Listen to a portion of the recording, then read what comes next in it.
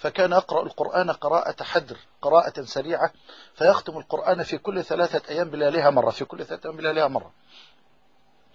وفي الفترة الأخيرة مرض. وعلى فراش ال- ال- الموت.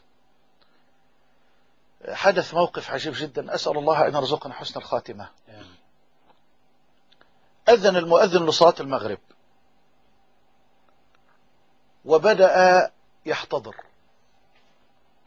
فإذ به أثناء الاحتضار أول ما بدأ الاحتضار هكذا قال يا واد يا محمد ينادي عليه يا واد يا محمد اقرأ يا ولد.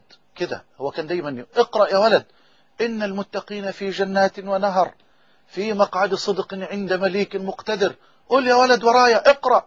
إن الم... وظل يردد هذه الآية من أذان المغرب إلى أن أذن المؤذن صلاة لصلاة العشاء وفاضت روحه وهو يقرأ قول الله إن المتقين في جنات ونهر في مقعد صدق عند مليك مقتدر. ويا لها والله من خاتمة. أسأل الله عز وجل أن يجمعنا به في جنات النعيم. آمين. نعم. نهاية جيدة دي طبعا. يعني أسأل الله أن تبين فضل القرآن. واللي اللي يعيش للقرآن.